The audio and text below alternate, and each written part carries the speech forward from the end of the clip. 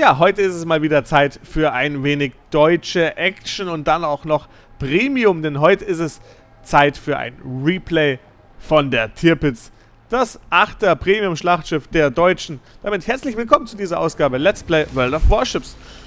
In dem Fall, der Wiesen 1976 hat das eingeschickt. Man muss auch dazu sagen, ich bekomme wirklich immer, immer weniger Replays eingesandt. Also wer da was einschickt, hat deutlich bessere Chancen, als es schon mal der Fall war. Und hier haben wir jetzt gerade den ersten Salvenschuss Richtung Kneisenau gesehen. Jetzt kommt er gerade nicht ran auf die Erober. Jetzt warten wir nochmal kurz ab.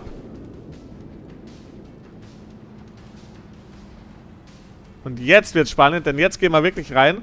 Aoba ist hier sehr, sehr nahe mit 8,7 Kilometern. Auch die, die sekundären gehen direkt los. Da hat leider nur eine einzige Granate gesessen. Aber die sekundären, die können ja auch schon ein bisschen was ausrichten. Vielleicht schafft er hier einen Brand oder anderes. Schaut aber leider nicht so aus, von dem her schade, schade.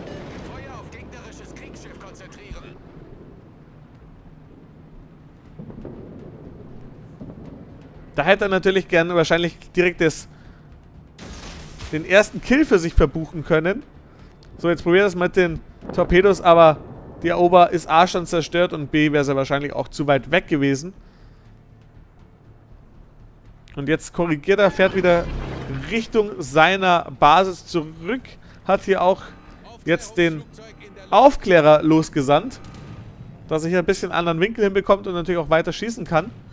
So, da hinten, da ist eine gegnerische Tierpitz, aber die scheint ihm scheißegal zu sein. Er will wohl jemand anderes haben. Wir warten einfach mal ab, auf wen er denn jetzt geht.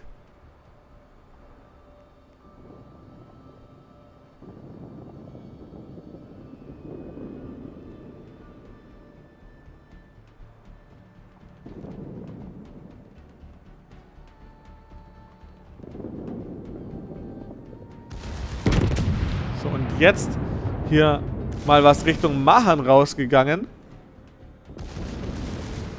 Leider hat er gar nichts treffen können, aber die Mahan, die bekommt schon ordentlich Zunder da an der Stelle.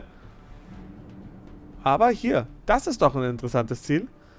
Die Leander, leider hat aber noch 6 Sekunden, bis er nachlädt. Und ich glaube mal, bis dahin hat die Leander schon das Glück, dass sie hier hinter der Insel verschwindet. Genau so ist es auch.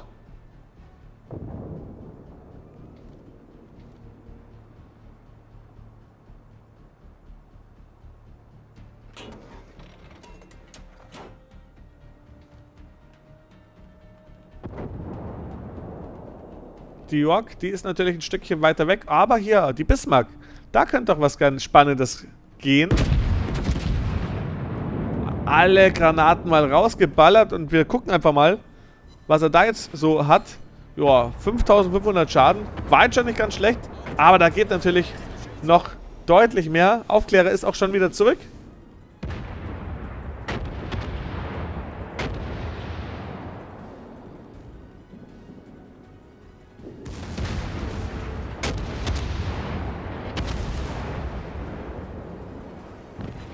Jetzt hier die Bismarck. Er fährt hier natürlich gleich die ein bisschen spitzer an, dass er da jetzt nicht die ganze Breitseite da offenbart, weil klar, die Bismarck, die würde natürlich sich freuen, hier einmal schön seitlich reinballern zu können. Aber der Vorteil, was eben die Tierpitz gegenüber der Bismarck hat, sind die Torpedos. Und die hat er schon mal auf die Reise geschickt. 10.000 Damage, aber jetzt dreht er da komplett breit und da kriegt er auch dicken Treffer. Da hätte ich wahrscheinlich noch ein bisschen länger gewartet oder versucht irgendwie anders wegzukommen, nachdem er geschossen hat. Also da muss man sagen, war das jetzt nicht so schön. Die Torpedos gehen leider links vorbei, so wie es aussieht. So, er hat hier schon gegengeheilt. Das Feuer brennt noch. So, jetzt muss er mal langsam die Türme rumbekommen, dass er nochmal einen Schuss rausbekommt. Er darf jetzt auch nicht überdrehen, weil sonst kriegt er die nächsten dicken Treffer rein. Schüsse sind raus. Und hier 5000 Schaden, aber natürlich nur 5000. Torpedos auf Steuerbord. Und hier der Torpedo, der trifft leider. Eieiei. Gott sei Dank kein Flutungsschaden. Alles in Anführungszeichen noch halb so wild.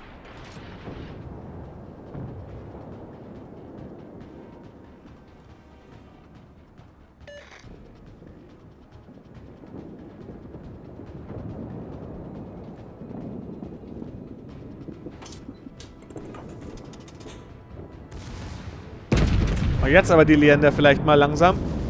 Oh, die Schüsse kommen nicht schlecht. Aber auch hier leider keine Zitadelle. 51.000 Damage. Und hier den Brand, den er da mit den Sekundären ausgelöst hat.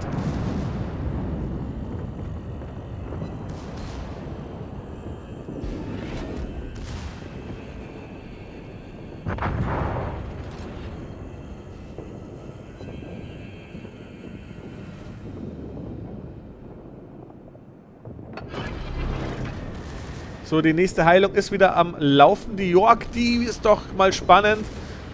Da muss aber auf die Distanz mal richtig scheppern, mein Freund. Jetzt hat sie sich doch festgefahren. Junge, hau raus! So, mal gucken, was die Granaten jetzt anstellen können. Und, ah, oh, 9600. Leider nicht der Kill, den er damit machen konnte. Also da muss man sagen, schon fast fahrlässig. Der muss da passieren.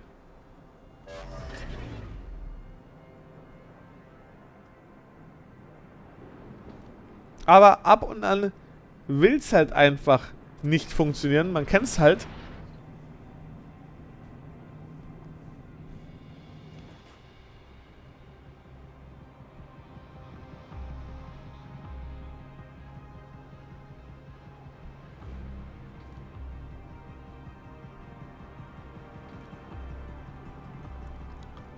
Die meisten Gegner aktuell hinter Inseln und sonstiges. Aber die Kneisenau, die kann er beschießen. Er muss nur selber erstmal hier an der Insel vorbeikommen. Und dann kann er nämlich mal rausfeuern. Und da seht ihr schon ein wunderschönes Ziel. Eigentlich zu schade, um es zu beschießen. Aber klar, am Ende des Tages geht es um nichts anderes als den Sieg. Und den will man natürlich da einfahren. 7600 Damage. Aber jetzt bekommt er von der Seite, von der gegnerischen Tierpitz da Schüsse. Muss also eindrehen, denn sonst Breitseite und ihr wisst, dicke Schellen.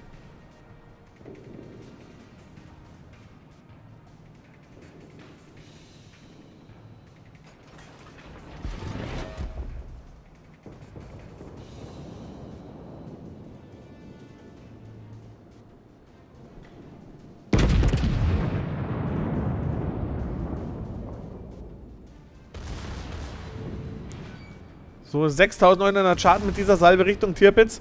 Wie gesagt, jetzt hier den Winkel spitzer machen. Nicht die Breitseite zeigen, macht er jetzt aber gut.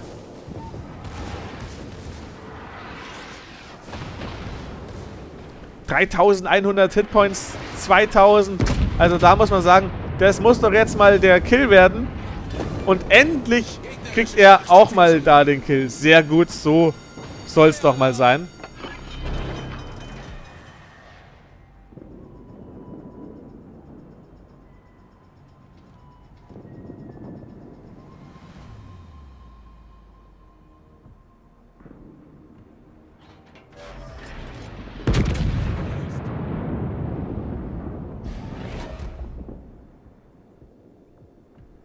So, was geht da jetzt bei der Bismarck?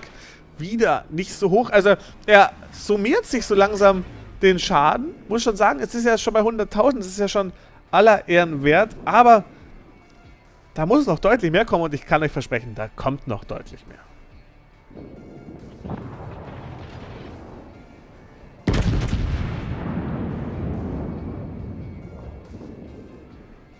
Und jetzt die Salve. Boah, da waren schon 11.000 und der hat noch ein paar in petto. Mal schauen, was da noch geht. Muss man ja fairerweise on top rechnen. Ja, in Summe macht, es mal so 15.000 Schaden. Die kann man dann durchaus mal lassen.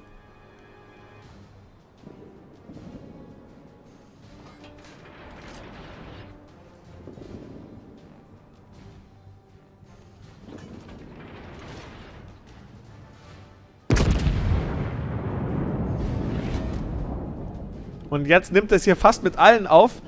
Drei gegen drei Schiffe hier noch in der Runde. Und er denkt jetzt einfach mal, go ich mache das jetzt. Chapayev kommt da auf ihn zu direkt. Mal schauen, was die denn da so vorhat.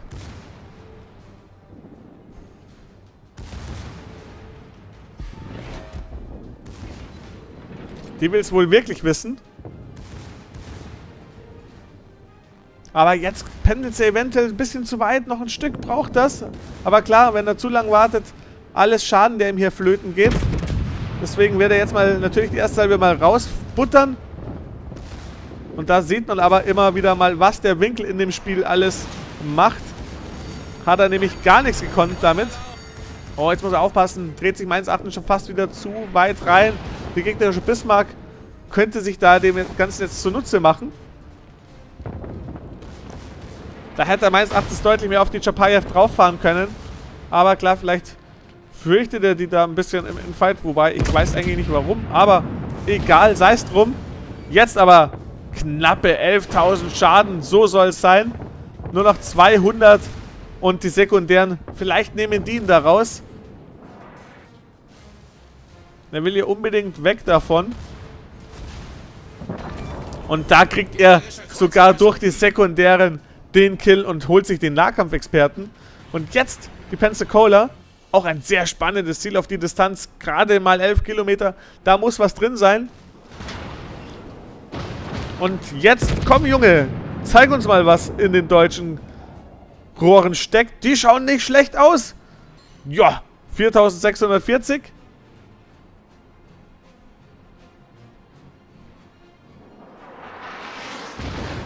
Da ist Luft nach oben, würde ich mal sagen. Heilen kann er sich nicht mehr. Da ist alles aufgebraucht, was er hat. Mit den 33.000 Hitpoints, die er jetzt hat, muss er irgendwie klarkommen. Und jetzt mal schauen, was da möglich ist. Er wird hier stark mit HE beschossen, aber macht die Zitadelle mit 14.000 Damage. Natürlich wird der Brand sofort gelöscht, denn jetzt kann er sich nicht mehr gegenheilen. Deswegen schnellstmöglich da nicht weiteren Schaden bekommen, aber Pensacola bleibt selbstverständlich weiter mit HI auf ihm drauf. Gerade beide nicht wirklich gut seitlich zu ihm, aber die Pensacola, die dreht jetzt stark ab. Damit wird es hier wieder einfacher Richtung Zitadelle. Schauen auch wieder schön aus, kommt gut und der sitzt aber perfekt. 18.100 Damage, eine Zitadelle und weg damit. Damit sind wir jetzt schon bei 180.000 Schaden. Also da entwickelt sich das nach hinten heraus doch nochmal sehr, sehr ordentlich. Die Bismarck, die feuert weiter auf den Edinburgh. Das heißt, die hat jetzt nicht so Augen für ihn. Dementsprechend kann er sich hier austoben. Die sekundären der Bismarck, die muss man fürchten. Die sind richtig, richtig ekelhaft teilweise.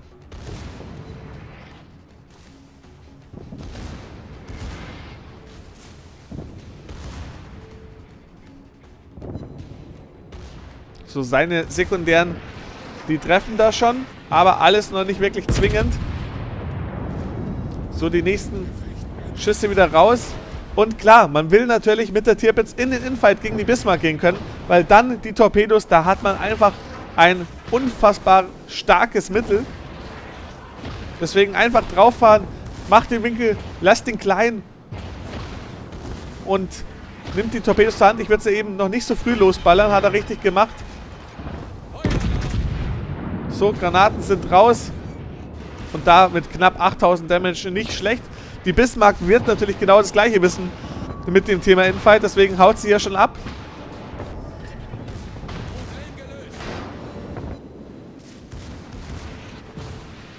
...199.000 Damage schon.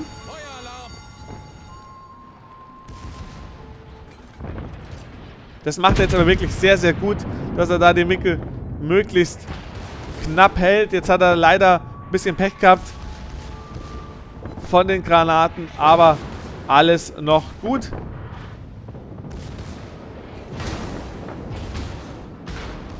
So, er wird aber auch ordentlich eingedeckt. Auch der Brand ist natürlich nicht schön, den er da auf sich hat. Das sind halt die sekundären der Bismarck. Die waren jetzt schöner. 3400 Schaden. Leider immer noch nicht so viel.